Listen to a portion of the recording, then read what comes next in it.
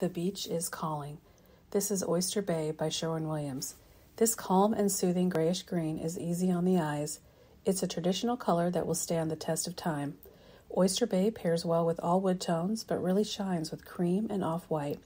Oyster Bay is part of the Sherwin Williams coastal palette that includes five other relaxed neutrals, including Repose Gray that we featured earlier in our series. A side by side shows the difference between these two popular colors. This color pops against stainless steel finishes and appliances. Not just for the beach, Oyster Bay works well in traditional and modern designs as well.